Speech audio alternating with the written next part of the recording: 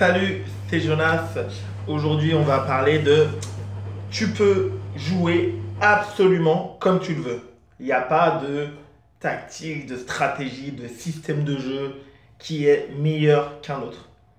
Par contre, là-dedans, tu peux décider de ne que attaquer, que vouloir contrer, contrer la première, faire démarrer tes adversaires avant, défendre, avoir un système de jeu qui est mixte.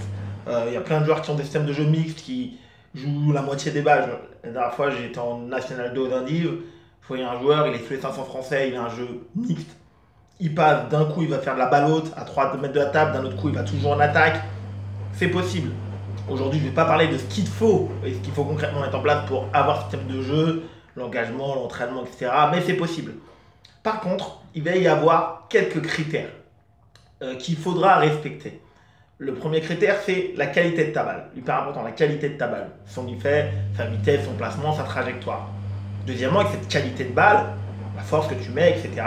La balle sur la table, évidemment. Le joueur te spin, je peux frapper, tout le monde peut frapper. Mais frapper sur la table, la mettre la balle sur la table quoi qu'il arrive, donc qualité de balle plus la balle sur la table, c'est autre chose. Aujourd'hui, je ne vais pas te parler de ce qu'il faut faire pour réussir à, à, mettre ça en place. Mais voilà, qualité de ta balle, la balle sur la table. Donc très bien. Avec ça, tu peux vraiment, si tu as ça en tête, tu peux jouer comme tu le veux. Tu peux lancer toujours le jeu, faire démarrer le joueur en premier. Il y a des joueurs qui le font très très bien, peu, hein, mais il y en a, ils le font très très bien. Et ils, vont vraiment, ils atteignent vraiment des très bons classements avec ce système de jeu-là. Après, il y a des tonnes de façons euh, pour faire démarrer l'adversaire euh, pas bien sur son premier démarrage. C'est pas le sujet de la vidéo aujourd'hui. Et la, et la deuxième chose, enfin la troisième chose, on pourrait dire derrière ça, une fois que tu as la qualité de ta balle et la balle sur la table, donc des balles de qualité qui vont sur la table, il faut également, c'est ultra important que tes intentions de balle, de jeu, rencontrent les intentions de tes adversaires. Je vais te prendre un exemple hyper concret. C'est je ne veux, je suis un joueur, je veux défendre. Donc très classique, je veux défendre. Donc je ne veux pas du tout attaquer. J'aime pas attaquer, moi j'aime bien m'installer, défendre. Ok. Mais il faut que tes intentions de jeu, ouais, je ne veux pas attaquer, c'est très bien. Mais que tes intentions rencontrent les intentions de jeu de tes adversaires. Et là, ça va être un autre problème. Parce que si tu pousses tout, même si la balle vient plein coup droit, tu pousses. Revers, tu pousses. Tu joues sur plusieurs lignes de sol.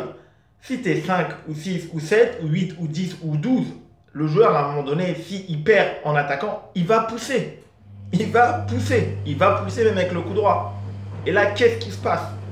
Parce que le principal souci, c'est que ouais, tu as une intention, elle est juste, elle est noble, ok, c'est l'intention de jeu. Mais si le joueur, quand il pousse, il se prend pas un top spin, il se fait pas agresser, il ne prend pas des changements de vitesse, de variation, parce que passer d'une balle coupée à une balle liftée qui tourne d'un seul coup, surtout quand en plus tu fais que défendre, donc le joueur en face de toi, il n'a pas l'habitude de gérer une balle liftée, il n'a plus l'habitude de gérer des balles liftées. Donc ton intention à ce moment-là ne rencontre plus l'intention de ton adversaire. Et tu te retrouves à poussette sur poussette. Et là, euh, bah, même si c'est euh, poussette sur poussette sur de table, bah, tu peux jouer ma longue, tu peux faire jeu égal, c'est pas grave, c'est une poussette. Par contre, effectivement, dès qu'il y a de la vitesse, dès qu'on va mettre de l'effet lifté, de l'effet latéral, là, euh, le tennis de table prend tout son nom. C'est là que le jeu se passe. C'est à ce moment-là, donc, ton intention de jeu, elle peut fonctionner, mais elle doit rencontrer l'intention de jeu de tes adversaires. Moi, j'ai souvent vu, enfin, il y en a quelques-uns, il y en a, des joueurs qui sont sous les numérotés, sous les 500 français, des défenseurs, qui n'attaquent pas. Pourquoi? Parce qu'ils n'ont pas besoin de le faire.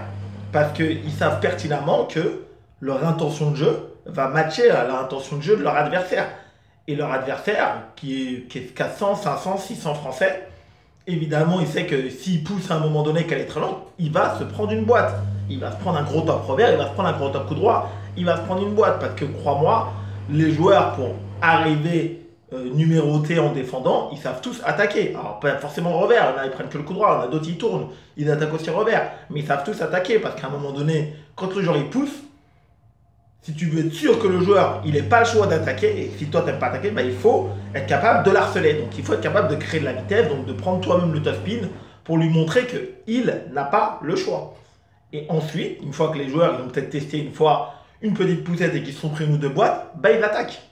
Et là, là, tu fais rentrer le joueur dans une confrontation de système de jeu. Le joueur, il sait que la poussette, c'est pas une option, sinon il va se prendre des boîtes, il va se faire agresser en attaque la poussette n'est pas une option, donc il attaque. Et après, confrontation de système. Toi, tu veux défendre très bien, donc tu vas t'installer, tu lui envoyé le bon message, et le joueur, il va attaquer. Et il n'aura pas le choix. Et il sait que voilà, s'il pousse, bah, il doit très bien pousser, il doit remettre court, il doit repousser de rebond, il doit jouer comme s'il jouait sur un attaquant, voire encore mieux, parce que sinon il va se faire agresser. Et à ce moment-là, ton intention match l'intention de ton adversaire. Tu vois, c'est très important parce que, bien sûr, tu peux de, ne pas attaquer, mais les meilleurs défenseurs sont de très bons attaquants. Les meilleurs contraires, les meilleurs contreurs, ceux qui aiment contrer, attaquer, ceux qui aiment faire attaquer les autres en premier pour prendre le contrôle du jeu avec un premier compte coup droit au revers, ce sont toujours de très bons attaquants, ce sont des meilleurs attaquants.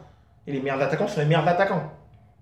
Que si tu veux, même chose, que le joueur, il te pousse pas la balle, lorsque tu l'obliges à top spin en premier pour contrer, même chose, hein, si moi j'aime bien contrer la première pour lancer le jeu, j'aime pas forcément faire ce premier démarrage, bah c'est en devenant très bon en faisant ce premier démarrage que le joueur il aura pas le choix d'attaquer dans de mauvaises conditions quand toi tu vas lui donner les balles et que tu vas l'amener dans ton système de jeu. Donc tu vas le forcer à avoir les intentions que toi tu veux pour ton système de jeu. Regarde cette vidéo si tu n'as pas tout compris. Dis-moi ce que toi t'en penses en commentaire. Comme j'ai dit, voilà, c'est les cas très classiques. On débute, on veut pas attaquer, on se retrouve, on est niveau 5, 6, on est dans les premiers classements, on n'attaque pas. Et le joueur, qu'est-ce qui se passe? On passe bas et pousse. Et là, il se passe rien. Neutralité totale. Voilà, donc niveau de jeu tiré vers le bas. Et donc la meilleure façon de faire matcher tes intentions de jeu, avec cet adversaire, bah, c'est d'être capable de produire, de remettre de la vitesse, de le dominer pour l'amener à jouer comme toi tu veux qu'il joue. Absolument. Mets-moi en commentaire. Je te souhaite un excellent entraînement et ciao